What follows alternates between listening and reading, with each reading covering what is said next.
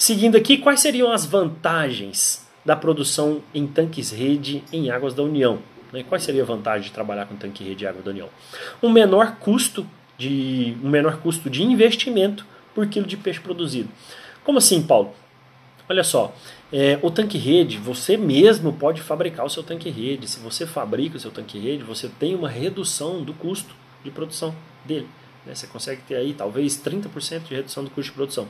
Ah, eu não quero, não quero construir meu canto, eu quero comprar pronto. Tem gente que vende? Tem, eu vou dar um exemplo para vocês aqui.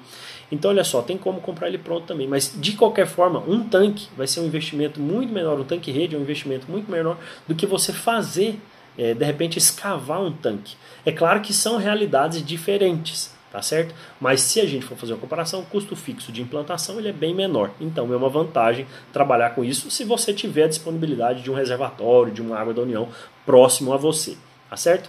Outra coisa é rápida implantação e expansão do empreendimento. Lembra que eu falei que eu comecei com 20 tanques rede na minha produção? Eu implantei, eu coloquei, eu instalei os 20 tanques redes eu acho que não deu nem umas 4 horas para poder instalar tudo.